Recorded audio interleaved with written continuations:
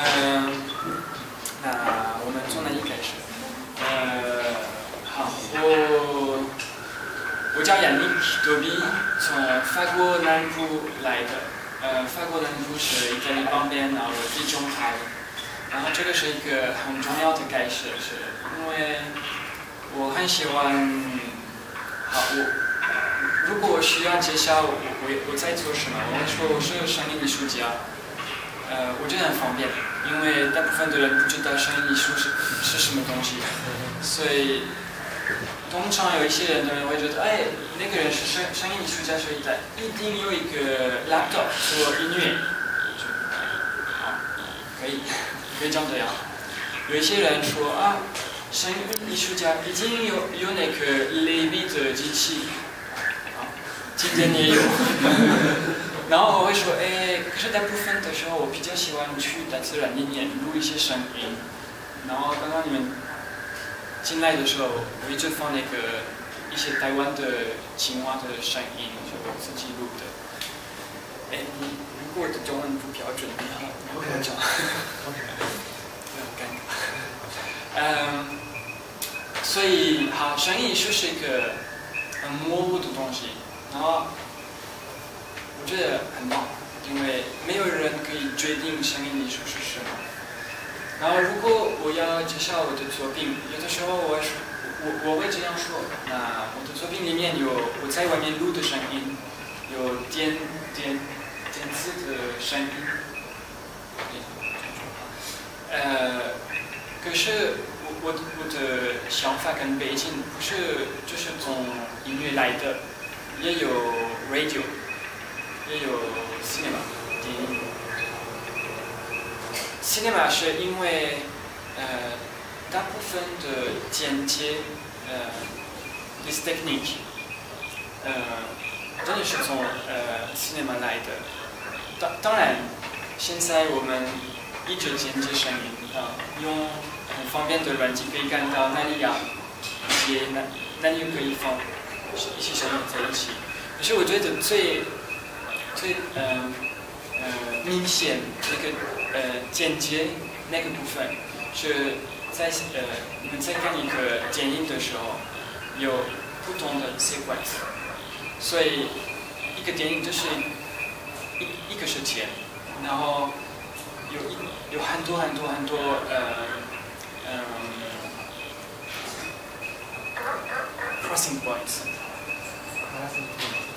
intersections，来十字路口，有一件像十字路口，你要你要做一条路，然后哎突然你可以右转左转，哎再决定，然后不一定你你知道你会去去哪里，可是你你一直可以决你一直需要决定你你要右转还是左转还是直走，我觉得前期是这样，在一个建议里面就是好。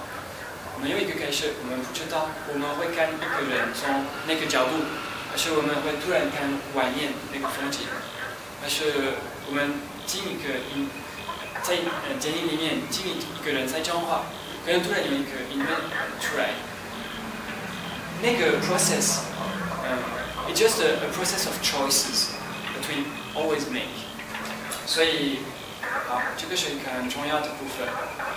呃，声音艺术也是跟电影有关的，因为剪辑。呃，然后有另外一个东西，呃，非常重要，是 mixing。Mixing is also what happens when you are walking in the street. Like, you are coming close to different sources of sounds that are mixing all together. By your movement, by the movement of the different objects, sounds just put layers and layers and layers and layers. So I don't have an analogy in visual for this. Do you want to translate? Some outdoor, and each time there is someone who wants to record my voice, I'm a bit stressed. So, uh, but first, uh, you have seen that I connect the microphone in the mixer, and I didn't hit the microphone. Like everyone connecting microphone and the PA, they always like blow on it. Ah, so 每次我的心跳很快，我看这个东西很不舒服。嗯， Okay, we'll speak about microphone later. First, we can remove the Um, so I mentioned about uh, mixing and editing because uh, they are the basis of my practice in sound. And when I started, uh, it was not on the computer. So I'm very old compared to this very young audience. And at first, when I uh, started studying uh, sound and making my experiment, uh, it was on this kind of machine, but uh, much less um, um, compact, it was bigger, and I had a pair of uh, scissors. Um, so, um, editing uh, is just taking a sound from uh, another machine, such as this one, or from a microphone, such as this one, connecting it to a tape recorder, and when you press the rec button, there is some tape that gives you an indication of the duration. You don't have a timer who say, oh, you recorded 1 minute 35 seconds. You just have some material that you can touch, that you can destroy, that you can cut in splice. So when you had one meter of tape, you know that you have 38 seconds of sound. So if you want to edit a sentence, someone is speaking, you want to cut different words, you don't know where it is because it's just like tape. So you need to listen maybe time, four time, six time before you exactly know where to cut. And then you cut. And once you cut, you cannot undo. You can put some rubber tape on it, and but you cannot do it several times because the, then the tape will be broken very easily. And, and then when you want to make a loop with some sounds, you don't press some button on the computer, you, you really make a real loop that can turn for some while. So this experience, uh, I think I was very lucky because I was one of the last students, uh, last, one of the last people to discover it uh, as a technology, as a young uh, sound artist, because I was in a school where uh, we were taught some experimental music techniques. And in the studio we, there was some computers, some very cool stuff but for the first year, the, the student of the first year, like the, the, the youngest student, they give us the worst of equipment, the most old equipment and by chance it was all analog equipment which means the learning of sound that I've done is not by watching a screen it's not like sitting with a laptop on a desk. It's standing with huge machine that you need to you need to put the tape on it, remove it, connect it on, shelves, and then it's a mess. It falls down and it's all dusty, and you need to clean the tape, and then you cut, and there are many many small pieces of tape that fall everywhere. So all of that is very very uh, non-visual. You don't use your eyes in, a, in this kind of studio. You use your hands and you touch things and you listen. You listen many, many times the same thing. So working now with computers for me is amazingly convenient, but at the same time I miss a lot that time when I was not looking at things. I was just listening to things. So I mentioned about um, editing techniques, mixing techniques, analog equipment, switching to digital equipment, but I still didn't say the most important is uh, when I started doing sound, I was uh, working in studio uh, for learning different things, and the only uh, desire I had was to go out of the studio and play outside, especially in the in the in the nature. So at first, uh, it seemed that I was not in the good school for that because all the experimental music I was uh, listening and uh, learning was made inside the studio, inside buildings, with instrument, with equipment, and it was made for being played on loudspeakers. So that's one big part of the other stories of uh, experimental music. But my uh, intention was to go out, to bring some part of the, of the equipment and, and to play in the mountains, basically. Uh, so I come from southeast of France, in a place where uh, the mountains are very close, a bit like in Taiwan. You can just drive one hour and there is no one, and you are at the top of the mountains. And in these mountains, there were so many interesting things for my ears, such as dried leaves, uh, stones that fall down, of course animals, but also in wintertime, like uh, wind blowing in, in, in dry leaves, these kind of things. So I wanted to record those sounds because I think they were very interesting, as interesting as the sound that I could produce inside the studio. So progressively I started to uh, learn by myself the techniques for recording sound outdoor. So um, this is what we call field recording and there is something very important when you are doing field recordings compared to studio recording is inside the studio you can decide almost everything.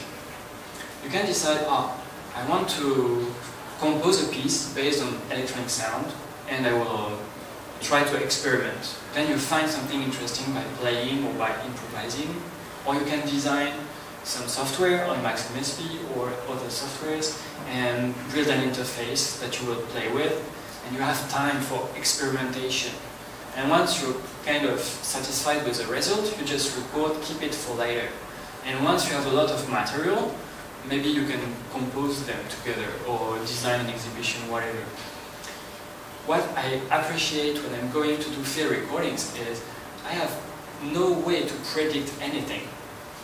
I can just prepare my basic equipment, which is just uh, inside the big backpack, like a sound recorder, micro, different kinds of microphones, and the most important is headphone. And then I don't know what will happen. And this is completely uncertain. And this is something that almost never happens in, inside the studio. In, inside the studio you need to build some strategies and process of work. But when you are outside, maybe suddenly it will be a huge rain and the only sound you will listen is different kind of sound of rain. And if you don't want to waste your time, you need to adapt to this situation. Uh, what can I do with the sound of rain? How do I record it? If I have some technical problem, how can I solve it? And if I can record the sound of rain during maybe one day or two days or one week, if it's raining every, every day, how can I find, find different ways of recording which are still interesting. So all these questions about uncertainty of course remind some musicians such as John Cage or different musicians that introduce the random inside their music. And with field recording, it's not only um, a randomness that is decided by the fact going outside, but it's also a direct consequence of the physical environment. So, as a kind of example, I would like to play, to play a small extract of something that I didn't do inside the nature, something that I've done in a place that I really don't like, which is Taipei, the city of Taipei. Because usually I really don't like working in cities. I like going in remote place where there is nobody. But I live in Taiwan since 2005. First time I visited Taiwan in, uh, I live in Taiwan since 2007. First time visited Taiwan in 2004. And basically I live in the suburb of Taipei. And I, I always was considering if I'm annoyed by the noise, how can I handle them? How can I just live with all this noise? Because if I go to Gongguan, Ximen, my ears are bleeding. so noisy.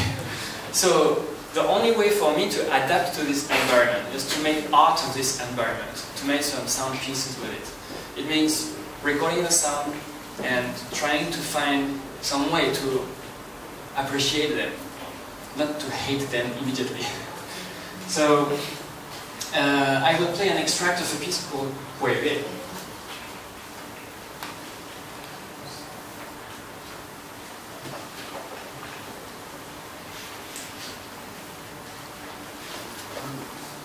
请问大家刚才这样子还 OK 吗？哦，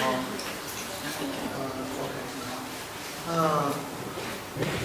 我我我还是简单讲一下，就他刚才从呃 mixing 的概念到 editing 到他录音的概念有稍微介绍一下。那就是为什么刚才提到用 tape 呢？因为前面这一台大家等下后面来看，再来就是真的类比的盘带机。那像以前早期亚尼克在学习的时候，他其实用的器材就是完全类比，他需要你录音就是真的录在 tape 上，然后你的剪辑啊、你的部分都是真的去剪那个 tape。那他大概有讲一下这样的这样的工作的方式对他学习的影响。那对，简单讲好。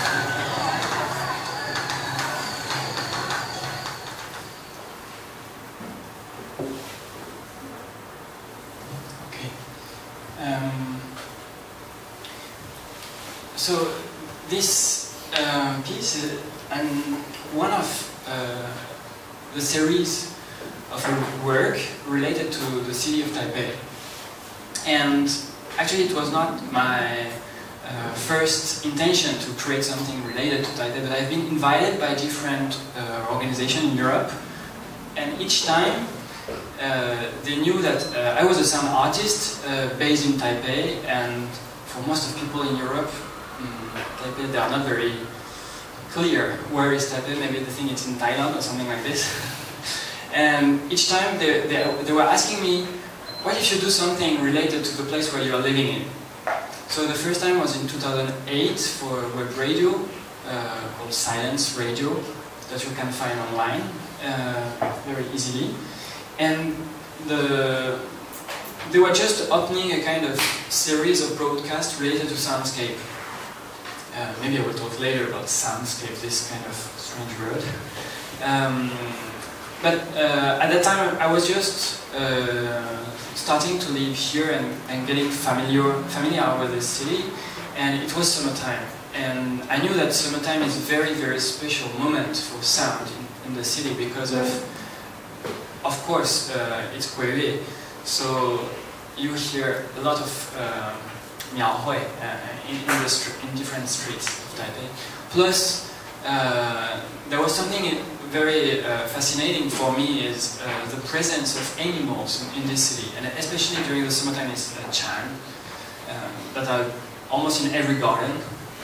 And I think I thought that there was something very interesting by, uh, by these two phenomena in summertime, because in the summertime the doors of hell open, all the ghosts are coming back, and the people, the living people are giving food to them and until they just go back. And the cicadas spend all their life in the earth, under the, the floor, uh, in the soil. And then in summertime, they just go out and just for a, very short moment in their life, they just sing, copulate, and die very quickly. And there is this two cycle of life and death that I find very interesting to cohabitate in a sound piece. Of course, uh, the reaction of audience in Europe and in Taipei is extremely, extremely different. The effect is very different. Uh, so I composed it from my point of view, being not so familiar, but starting to live there and starting to uh, get familiar with a different kind of sound. So um, this kind of work, of course, uh, there is a huge question that is uh, always asked to me is, is it music? Is it documentary? Because on one hand, the way I organize the sound is really in a musical way. I don't uh, the, the, most important when I'm doing the mixing or the editing is how does sound uh, switch to one to each other. And more important is how the listening, my listening and the listening of the audience, can follow different lines in this composition. One, uh, like at the very beginning, there is a kind of metal percussion, and suddenly there is sound of a road or distant cars, followed by the voice of someone, and and that's really like a different instrument just uh, playing together or something like this. Um, so on one hand, it's really uh, the way I compose those pieces, I edit and mix them, is really musical. But of course, uh, almost every sound I use um, has a strong visual reference. Of course, I will not bring the image uh, by showing some visual videos. It's really not what, what I'm looking for, and I don't have a specific aim of making you think about something special. But I know that those sounds bring a lot of uh, personal uh, memories. And for the people who are not living in Taipei, something is very interesting is most of the people find it very exotic compared to the sound that they have their own cities. Um, but many people are able to guess incredible things. So, for example, there is um, there was a critique of this CD by a journalist, and the journalist could really get some details, really amazing, from the piece. Uh, for example, I recorded, not in this extract a bit later, in uh, Longshansi, when there is uh, the big uh, event for Kwebe, there is uh, too many people, so they cannot do Puapue because there is not enough uh, piece of wood. So they use two coins and just like and I recorded this sound, which is very a small sound compared to the firecrackers, the road, everything. But this moment is, of course, for us very quite clear uh, when we listen. And okay, I would say that when I'm doing the listening session, half of the people can recognize or not. But some people in Europe just listen very carefully and can get this detail and think, that's very strange. What could it be? So they listen again and again, say, hmm, it sounds really like small pieces of metal that are through on the floor. And they say, yeah, but it's not through like uh, a bunch of pieces of metal, a lot of them. Just one or two, one or two, one or two. And behind we can hear some music and environment of prayers or whatever. So they start to imagine what kind of ritual could be made by throwing some coins on the floor. And that's very interesting for me because those sounds are really, uh, really, they are realistic.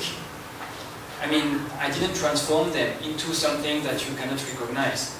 Something just uh, recorded and selected, edited and mixed with some others.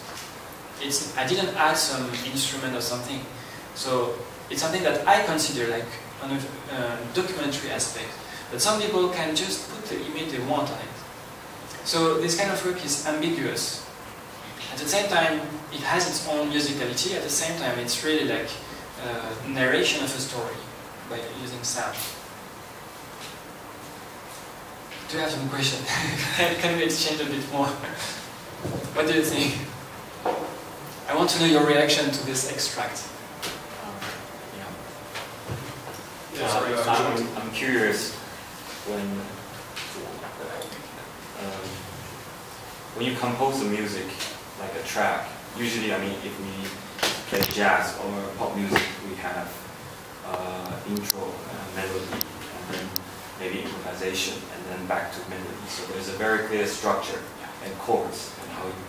Uh, so I was listening to that, and of course there I, I see transitions, especially when cicada uh, was coming up, then you see, you feel sort of emotion rise, emotion rise. So I, I like that.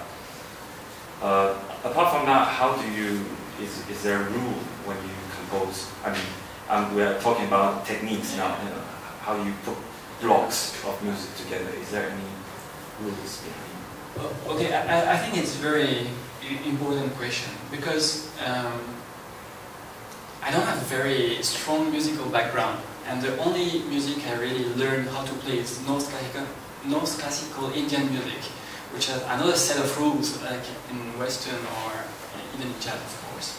Um, but something that attracts me in experimental music is the rules exist only if you create them. Which means each time I, I start to do some recordings, when I am in the situation, I am really deeply influenced by the way sound organized by itself.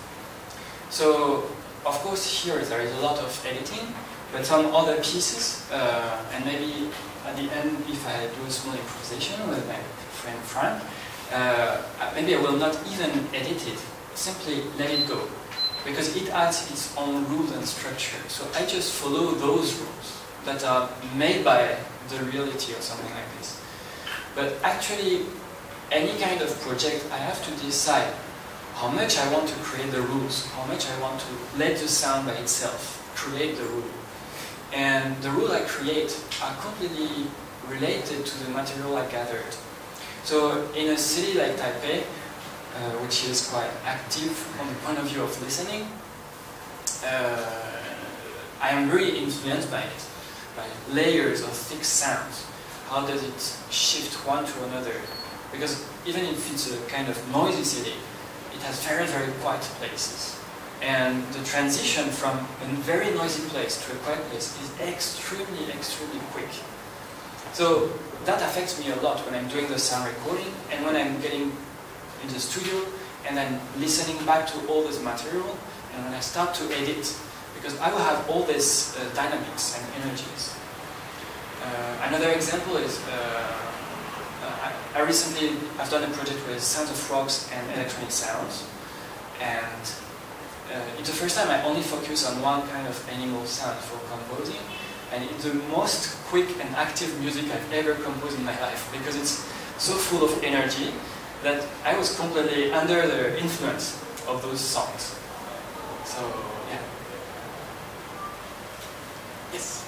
Yeah. Yes, uh, you say the material in Taiwan for other countries is exotic, right? But for Taiwanese people, uh, it's a little concrete. So we will come to more uh, specific. Oh. We, we can connect it to more uh, specific uh, activity or festival or something like that. So how do you uh, prevent or utilize, use this advantage and uh, disadvantage for Taiwanese listeners? Okay. Um,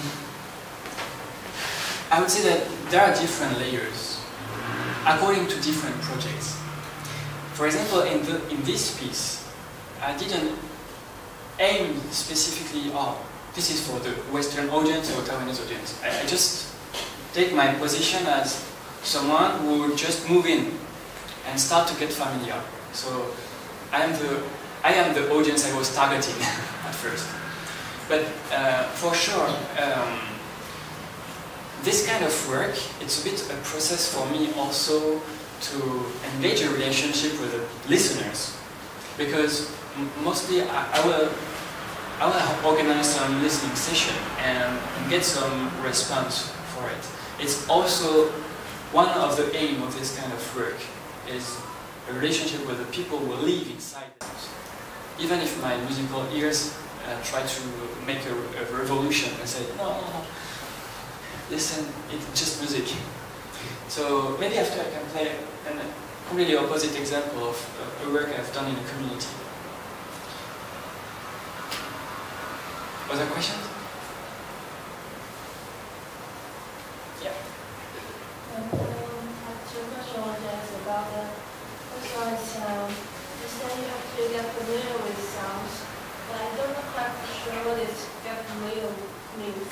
That means you have to imagine the sounds or I'm not really understand what it means. Okay. And the other question that I'm more curious about the, the stories behind the songs when you get access to recording the songs, how you interact with Chinese, do you have any interesting stories behind the songs? Yeah. Okay. Um, I can play a sound for the first question.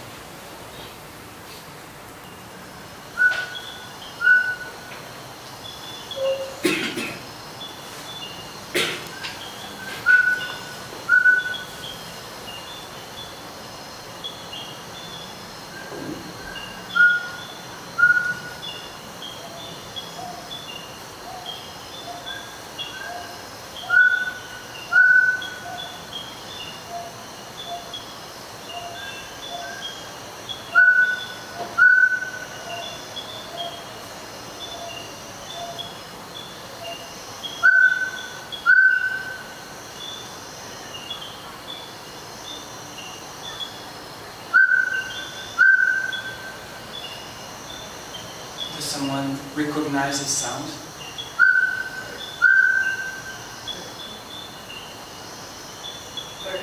Yes. Which one? Where? Where, where did you listen to this bird? When?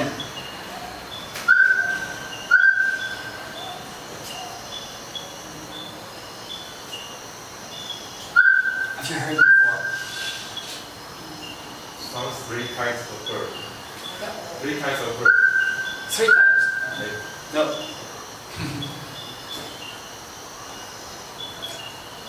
oh. Oh. Oh. Oh. Yeah. It is. Yes. there is two kinds of owl. One is this one, and the other one is mo- much more distant, softer. And then behind there is tick, tick, tick, tick, tick. this is not birds, this is frogs. Okay, um, the most obvious one is uh, oh, it's uh, Huang Huang Xiao. It, it's one kind of owl in Taiwan. It's very, very common if you go in the nature, even in the surrounding of Taipei uh, by night. It's singing all the year. The first time I came in Taiwan in 2004, and just before leaving, I went by night in one small forest, and I could record something like this, but not so good quality, just a bad recording of that sound. But that sound is, is so usual when you are in the nature by night in Taiwan that when I came back to France, because I just came for one month, I, I kept in my ears the sound of Taiwan was just like this. Because this was the best moment for me, being alone in the darkness, in the nature of Taiwan, but really, wow, I'm strong. So, so this sound was just giving, giving me back this uh, feeling of moisture, heat, many, many, many frogs around me, maybe snakes, or of course some stress. And that was something quite fun, quite uh, strong uh, experience for the first time. Then I came back in 2005, and I could listen again. I've done some other recording, not good recording. Then in 2006, I came two times, spring and summer. It was the same birds, bad recordings. But it became to be something very familiar for me because each time I was listening, I ah, I'm back in Taiwan, in the forest that I prefer in Taiwan. I recorded that sound last week. It's the first time I could record a good sound of this bird. because usually I go for recording frogs and I don't spend so much time with birds. And also, there is always some planes or road or uh, electric lines or maybe the, the bird is far away so if I go find him he just behind the forest. But this time was in Ilan and I was just below the tree and he was just above me. That sound I'm very familiar to. For me it's becoming completely part of my memory of Taiwan. If one day I leave Taiwan reminds Taiwan a few sounds will come to my ears and this one is among them. So uh, there is something I mentioned about the sound of nature. Is the reason why I do some field recordings in the nature is mostly because I think it's super great music. Usually when I when you go, especially in a place like Taiwan by night or even in the early morning, you can hear so many crazy, interesting things that reminds me of the best experimental music you can find, electronic music or whatever, improvisation. So my first interest for uh, sound of nature was simply to get some cool sound, some fascinating sound material. Sound material. But when I moved in Taiwan, I was, of course, I, I had some interest into ecology. But when I moved in Taiwan, I said, wow, this place has so many frogs. It's amazing. Just on one small island, there is 32 species. And if you go in one garden in Taipei, maybe you can hear four, four, five, six species at the same time, which is unbelie- unbelievable for someone who comes from southern France, where there is one species. Always the same. Only, only in summertime.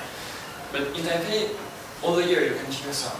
So I started doing some recordings, and of course at the end I was becoming more and more interested by the knowledge of the animals, which is something quite interesting and maybe also reply to your question about uh, the cultural background of sound is for me it's not only uh, a background. When I mention about sounds and that background it's not, not only from people's per perspective it's also from animal perspective. Because by listening to an animal you can guess of course if it's a male or female. You can guess which species. If it's a species that you can find only in Taiwan or in Asia or in the whole world. I've recorded some, some sounds of birds in Taiwan, and there is the same birds in France. But most of the frogs I recorded in Taiwan, they are endemic, so only living on this island. I even recorded one frog which exists only in one very small, small, small region of, of uh, Taiwan, in Zhanghua. So this kind of relationship between the sound and the place is becoming more and more important to me. Not only, okay, from the point of view of the culture of the people living there, but also what does it mean in this landscape, in this geography? How does it change? Because if the environment change, the whole sound will change. Some sound will completely disappear. Some, uh, at the opposite, will be more and more heard when the species move, for example, for example amongst animals. And something also that interests me, which is very different from my original background in experimental music, is now when I go in the nature, all the sound I hear, they are not a musical composition like before. They also have some small labels on it. It's a bit like, oh, when I hear this sound, there is a label appearing like with a Chinese name, like Xiao, but some other, I have also the Latin name, usually not the English name, but yeah, Latin name and, and Chinese name. And behind those names, it can be a bit stupid just to have names of different sound, but it's not only a name, it's a whole process of life and cycle according to the year, to the place. It's a relationship to different kind of plants, different kind, different level of temperature, humidity, these kind of things. I think, yeah, very interesting. To reply to your second question uh, about the experience of recording in Taiwan and interact with local people, I would say there is uh, different extremes. If I'm in the nature and I, I see someone, I just move away. um, I'm not in the nature for discussing with people.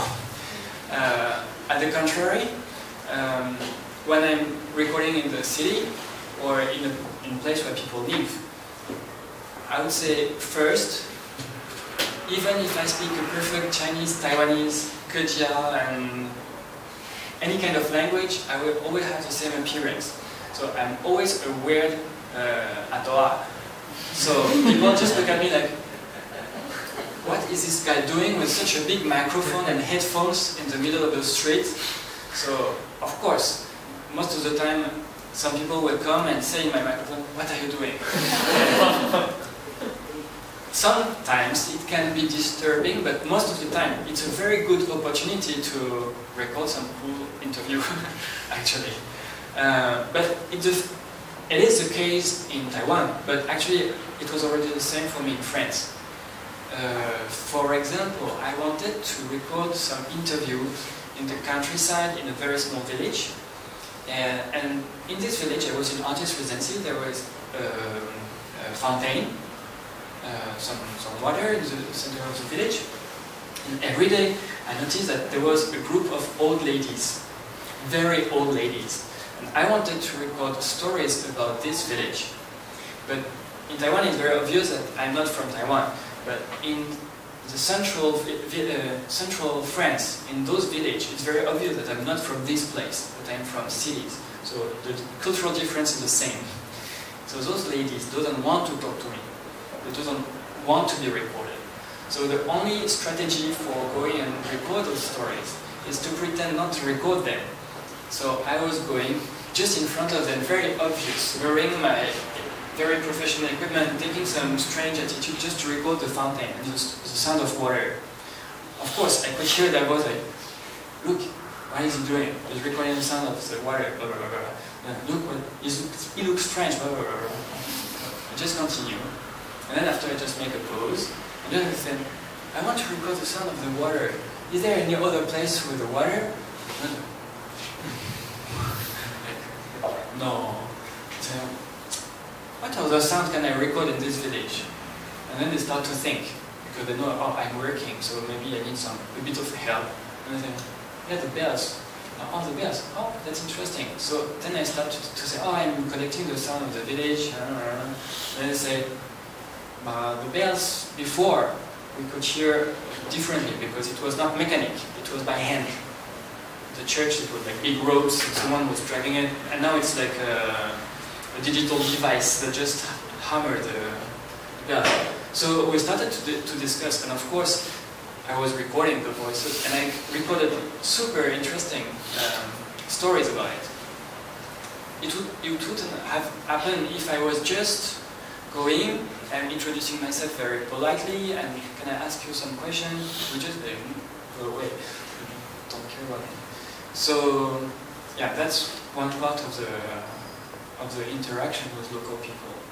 And another uh, aspect of the interaction with people. Uh, then I can I can play some extracts first. I play some sound first.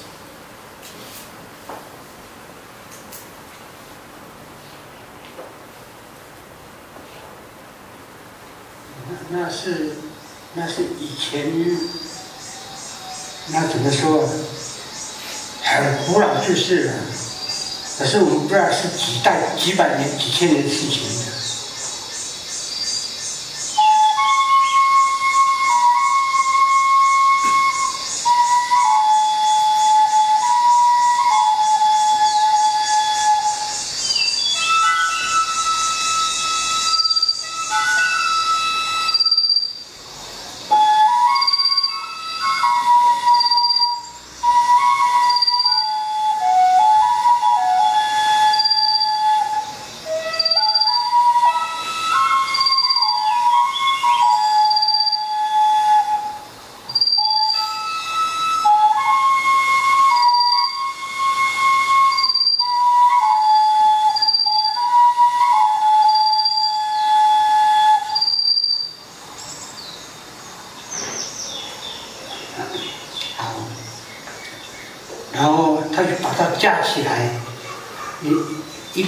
是架右边，一个是架左边，抓他的在那个手手上哈，然后脚好像没有踏地，好像离地三尺这样飞，经过山谷又又又跳到那个山脊上，又又下坡，好几好经过了好几座山，好几座山谷。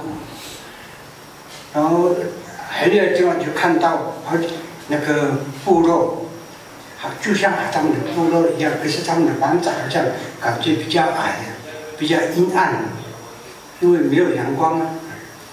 结果他里面的人就那个很吵闹，他说：“哎，有有一个不认识的人打扰我们，我们说我们来，我们有可以吃了，他们要准备要杀他。”可是首那个头目说：“不要不要杀他，我们先试试看，那个从阳光下的人到底有多厉害。”他们就好好好，他们就这样同意了。No. This. Ra. Ra. No. This.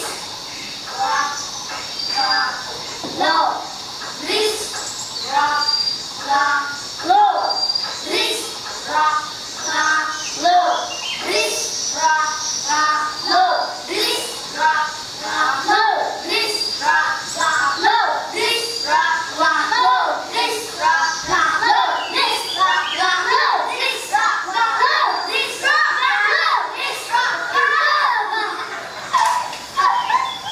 然后，嗯，他说我们要去杀敌人，因为我们的敌人太多了。他就带带他去杀敌。嗯，他们故意把他摆在前面，他们那几个人，他们的那个部落的人跟在后面而已，要看他有多厉害。结果他们后面的人在叫说：“哇，敌人来了，赶快赶快，赶快杀那个敌人！”他们说：“不要动，不要动，让他去打。”可是他看到的时候，没没有敌人啊，就看到那个河边的那个像草莓一样的会长红红色的果子、然后他过去就用用用脚踩以后，然后用手这样拍一拍，这样打打打，要开一条路过去、啊。哇！他们在叫说：“哇，英雄英雄英雄，多厉害呀、我们在后面拍手。Ra. This. Ra. Wow!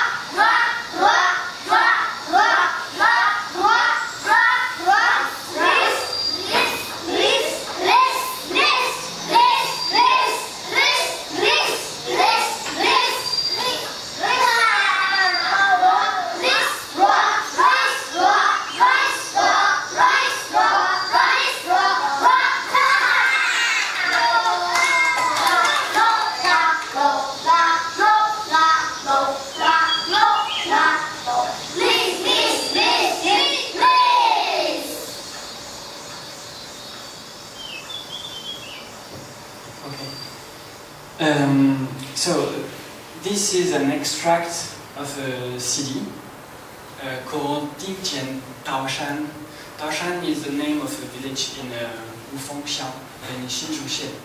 Uh, so it's uh, Atayal people in a village. And okay, this is uh, Daoshan Guoxiao, um, this place. And this CD is a extremely different work from my other sound works uh, because it's a collaboration with uh, with this school and the people of this village, and it's a kind of um, I could not say it's a documentary. It's more an exploration of this uh, area, and we were trying to um, make some sounds available for other people inside the village and outside of the village. So it's a bit difficult for me to explain this project because it's quite complicated. Um, let me think. Okay. Uh, we were invited uh, with another artist uh, called Guachen Tsai, uh, was visual artist, to make a community-based project uh, in Hsinchu. So it's a government-founded project, which is quite different from my other personal work. And uh, it's coming from the community center of so, Hsinchu Shenman And in this village, uh, the school has a kind of uh, reputation uh, for the the choir, uh, Hechangtuan. Uh, kids are singing in a Western style. Sometimes some songs uh, which are a bit influenced by traditional Atayal music and reinterpret into a Western style. They sing in Atayal language, sometimes in Mandarin, but mostly in Atayal language, but really in a, in a Western style. And they have produced a CD like uh, maybe five years or six years ago in a collaboration with a cello player, and uh, it's, a, it's more a, a CD for their, uh, their choir in a, in a classical Western way. But this time they wanted to make something with us, which is kind of com- complementary to this CD, and that shows more the tra- traditional aspect uh, of this village, especially focusing on language, because in the school they are teaching Atayal language and uh, traditional music. So the whole CD, it's a kind of uh, pretext for one year of different activities with the children. So in that track, what you hear at the beginning is an old guy uh, telling a story, and we choose. We have recorded many stories, but we choose this one because it, it's a bit like uh, Alice in Wonderland. Uh, it's someone who is taken into another world, which is very strange, where the enemies there are strawberries, blah blah blah. And uh, this story, uh, in the Atayal culture, it's, it, it hasn't been reinterpreted into the Christian way, or it hasn't been used uh, for representing really the Atayal tradition. It means it's not so heavy as a cultural background. It's still a traditional story, but it's a bit independent. So we could use that story to interact with the school. And for example, uh, the second sequence, there is someone playing flute. This flute is a traditional flute of Atayal people that was uh, played when the Atayal hunters go to the head of the enemy. They bring back the head and they have the song they can play on the flute. So they didn't cut any head for this song. So, but we just use the question about this kind of project or also nature recording. Yeah. Yeah, but okay. It's kind of like a technical question because uh, is there any like requirement I can record the, like the sound from the plant or like the sound from the flowers? The kind Th- That's something that I was discussing last weekend because uh, usually when I go into nature, it's mainly for my pleasure. of. Mhm. It's kind of protect. I say to everyone, "Oh, I'm going to record the sound," but actually just because I, li- I like being in the nature. Uh, And when I go into nature, as soon as I'm there for enjoying, I start listening and being very excited by, oh, where is it? Wow, is it far away? Is it close? How can I record it? Blah, blah, blah, blah. And I was discussing with some friends last weekend like, because when I go in the nature, something that always make me very embarrassed, 我觉得很尴尬，我一天都看不懂植物。Because for me, the only way to record the sound of plants is when it's raining or when it's windy. When it's falling on the floor and drying, and then I'm stepping on it. This kind of uh, interaction of other elements. Because actually you never hear the sound of rain. There is no sound of rain. There is no sound of wind. There is only the sound of stones, plants, roads being struck by the, by the drop of water. And the sound of tree being blown by the wind. So I would say, okay, the first answer is record the wind and the, and the rain. It's, it's mostly some plant sounds. Mm-hmm. Especially like uh, pupoyu, pupoyu, this plant, the big one, big leaves. I, I don't pronounce it. Okay. Yeah, this one. What, when I'm in the nature, if it's rainy, it's only this plant that makes the loudest sound. So, pop, pop, pop, pop, pop. It sounds a bit like cardboard. cardboard. It, it's very obvious. If you're in a forest of bamboo, the sound is really like, oh, very, very nice with the wind. But if you're higher in the mountains and it's uh, pine, so wow, this is even better. The wind in song make a very soft and whistling sound, which is very, very special. And this is what one of my favorite wind sounds. Um, a part of those interface, which are wind and rain, uh, I can also record some. I have recorded some other strange sounds. Uh, for example, if you put contact microphone on different kind of plants, you can record different kind of sounds. For example, on old branches, sometimes there are some worms who are eating the wood, Yeah. making this. So with contact microphone, it's one solution. If you record wind or rain with contact microphone, then you remove the whole environment, this ambient sound. You just have the sound of the material being struck. I've recorded uh, ants walking on leaves. This also is very interesting plant sound.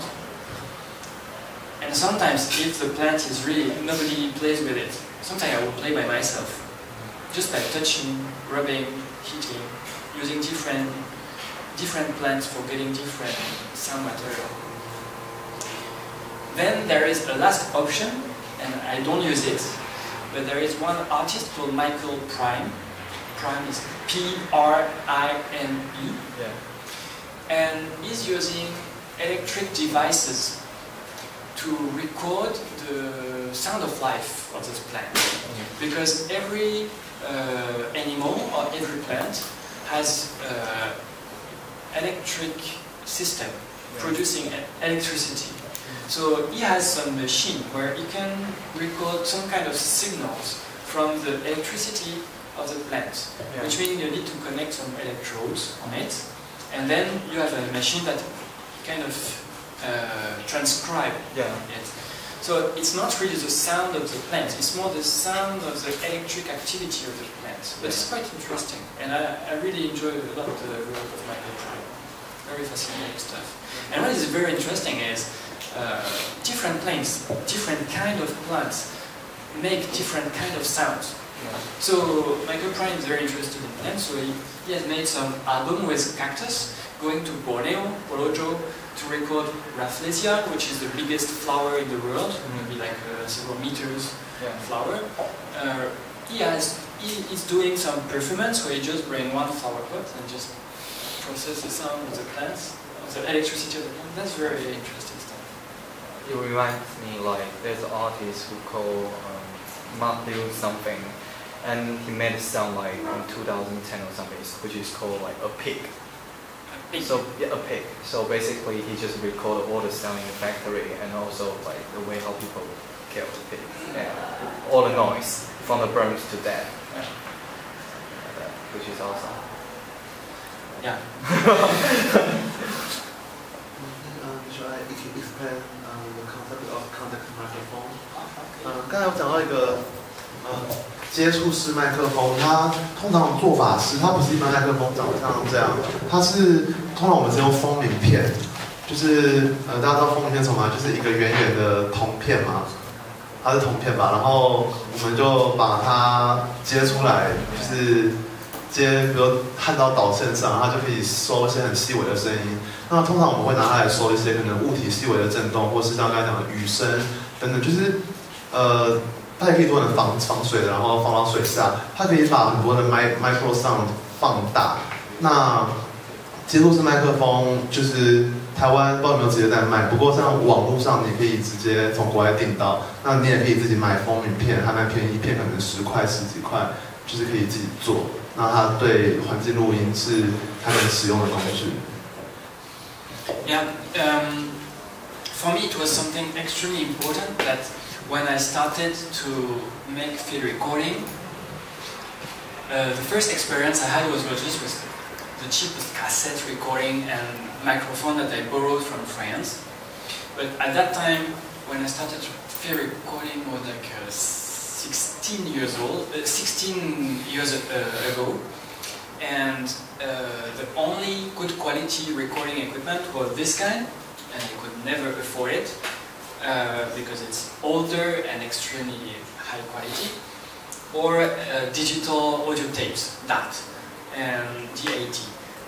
That that quality was really uh, great, but at that time the price was quite expensive, and then you need to spend money on microphone. And at that time, there was very bad cheap microphones and very, very high quality, extremely expensive microphones, and nothing in between. So for me, there was no choice. I could afford a recorder, but not microphones. So I had to imagine how to uh, record the sound I wanted. And those uh, from, from 嗯， from 英文怎么讲？ piezo, 风鸣片。 piezo, okay, it's uh, 呃 P- ，piano piezo, yeah. piano P I E Z O. Um, actually, just the cheapest thing you can buy for transforming an acoustic wave into electricity. Acoustic wave is from the air, but it can be also from the table. You, you can you can so- sound inside, and those stuff i- is the cheapest way and the most easy way from an electronic point of view to transform mechanical vibration, vibration of air or whatever, into electricity. And once it's electricity, you can just record it. So I started to make those experiments like 16 years ago because of budget. And now it's very different because for quite easy price, you can get a machine with microphone and recorder, digital, everything the same time. Uh, so one thing important is uh, I have, very often I have some question like, could you teach us the technique of sound recording? Actually, I think it's not so interesting to learn that because if you learn how to record a violin, and there are some specific rules, there is a one position on the violin where the sound is better. It's the same for piano, it's the same for guitar. If you learn how to record properly on the computer with the highest microphone in the studio, there is no use for creativity. If you don't know how to do it, and you just know how does work the equipment, then you need to spend time on listening.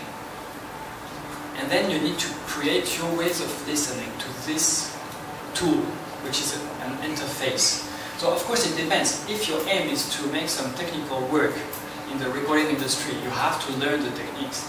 But if your aim is to develop some artistic practice, not to be an artist or just have a practice which is more about experimenting and creating, you, you need to spend a huge amount of time, not for learning the proper technique, but to learn the basic uh, use of the tool, and then spend time for spend a huge amount of time for getting familiar to this tool and experiment as much as possible. Sometimes you experiment because of technical problems. Like, okay, very often people say, wow, I recorded a sound, but behind there is sound of cars that I don't want. How do I remove it? You cannot remove it. Don't even try. Just go again and record more and try to find different position, different moment. You will learn much more by doing this than learning the techniques of digital noise reduction. This is useless and doesn't work. It doesn't sound good at all. It's boring. So um, there is different part that uh, cannot be taught. You need to teach by yourself these kind of things. And I think piezo is really a, a good tool for it.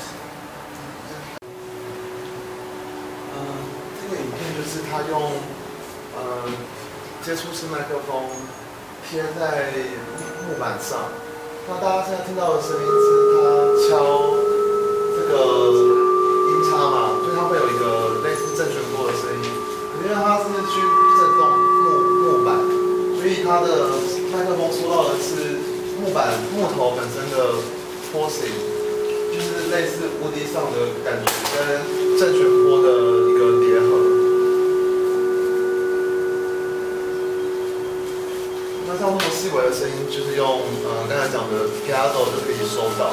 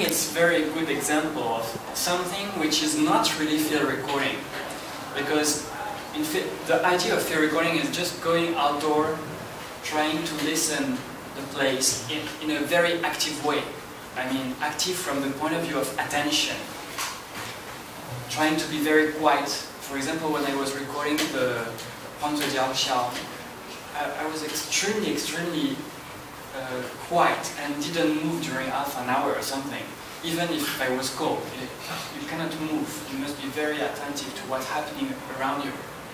But I think very interesting is an outdoor practice of recording sound by being active not only with the ears but also with your body and try to interact with physical objects. It's a bit like if you are doing an interview of someone, uh, you need to adapt your, your behavior to the person you're trying to record. And I think this kind of insight improvisation is a kind of dialogue with the physical environment. It's a bit like you are uh, dealing with the mood and sometimes the bad mood of objects in an environment. So I can play a sound which is a bit related to it. So first I can I can show you the objects that I was using. Uh, if I find it. Um,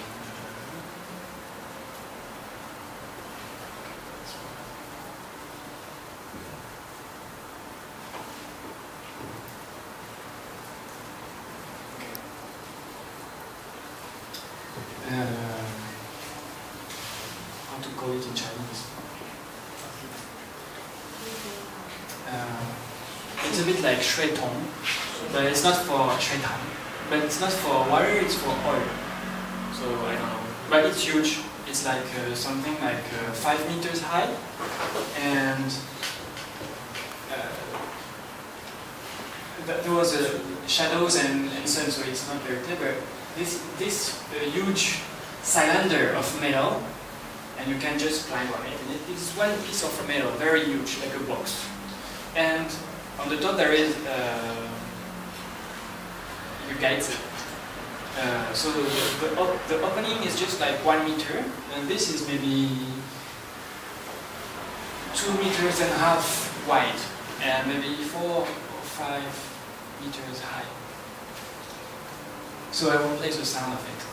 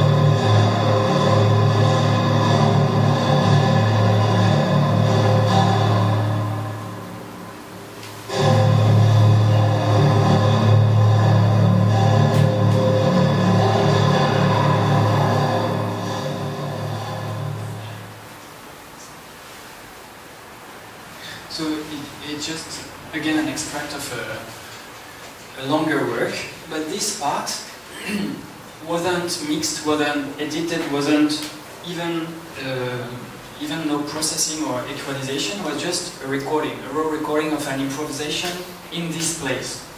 So basically, uh, how to play with this thing, you have to learn. There is no rule. There is no uh, manual. So when I first noticed this place, it was in an industrial area, and I was there for recording uh, environmental sound the factories. But as soon as I noticed the thing, I, I was thinking, wow, inside must be something. So just put the microphone inside, and nothing, almost nothing. But once I started to touch the metal body of this structure, then I started to have interesting sound. So I just learned how to play with it. And of course, to learn how to play with it, it's with the headphones and the microphone inside. So there is a kind of dialogue uh, as an improvisation, musical improvisation on this instrument, but there is an interface, which is the recording equipment, because the position of the microphone inside change completely the sound. If I put the microphone just at the entrance, I have the environment of the factory and of the road. As soon as I go down, it disappears, and then I catch some resonance. But the resonance, its frequency and its uh, uh, pulsation will change according to the depth. So I have to tune it before playing it, like a violin or a guitar. And then those different uh, uh, step on the ladder make different sound. If you touch it, if you strike it, if you use a piece of metal or a stone or a branch to rub it, and on the the uh, if you rub it continuously, if you find the good speed and the good energy, the, the strength, then after a while, you get this uh, very low frequency sound, this kind of drone that evolves slowly. So for me, it was really a, a lot of pleasure to, to discover this. Uh, it was a lot of fun to, to do, and of course, this kind of sound, if I want to create from computers or analog devices, it will be really painful, really difficult, and probably I won't have this detail and this um, organism into the structure of sound and the evolution. So, yeah. That's one, one part of the uh, field recording equipment is it also allowed to play and interact with the place. A bit like what we have seen from the other people.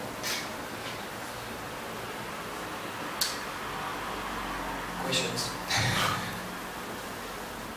Bring some questions, please.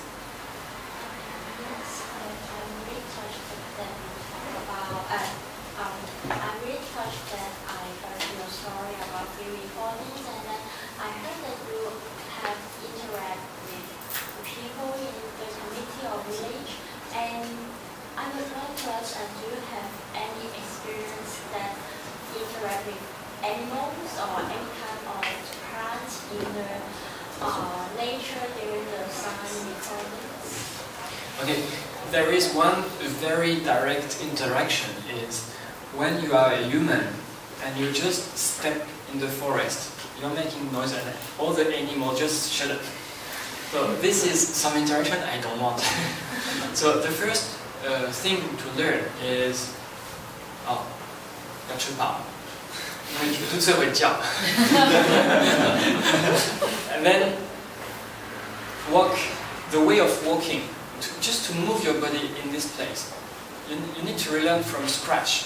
You need to select, oh, shall I step on this stone or this? No, this one make noise. I, I choose this one. So you, you have to learn how to be quiet. And learn how to be quiet is really amazingly difficult because we are not hunters. We are just people staying in apartments. And uh, we are not made for that. We didn't learn that. Once you know how to be quiet and just your presence.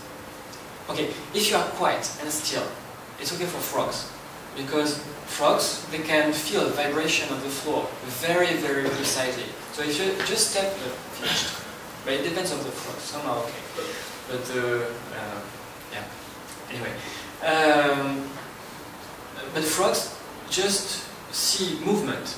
So if you don't move, and if you're still, it's okay. They will forget you. But birds, they see colors and shapes. So if you are wearing normal clothes and being very obvious with a microphone, and if your microphone has uh, wind protection, it looks like a cat or something, because you have the fur around, you just move away.